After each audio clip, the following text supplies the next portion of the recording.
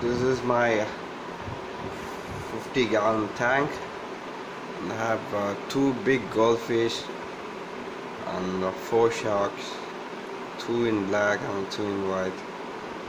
And I have this little master of black gold.